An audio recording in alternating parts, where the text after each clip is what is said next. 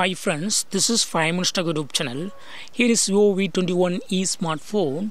In this video you will learn how you can check RAM and storage space in your phone Vivo V21e. First of all, go to the settings of your phone here and uh, you will find RAM and storage space. Here, just click on RAM and storage space and you will see RAM value here. See here.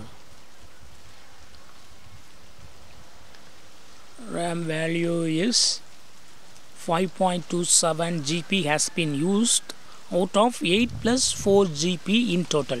So this phone has 8 GB RAM and RAM can be extended up to 4 GB then phone storage. Phone storage used showing here 23.80 of 128 GB in total. So totally you have 128 GB internal storage. So this phone has 8 GB RAM and 128 GB internal storage. Also other used uh, other space used are showing here system 20 GB apps 3.3 GB videos 161 MB images 12 MB documents others audio trans games. So here itself you can manage storage space too. Click on the system.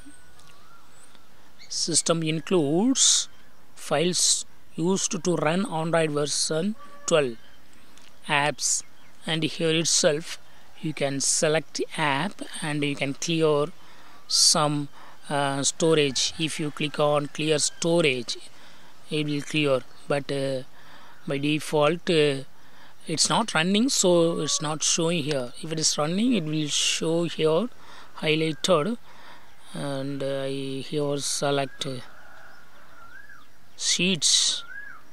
Here clear storage option is available you can click it and uh, you can storage uh, you can clear some space.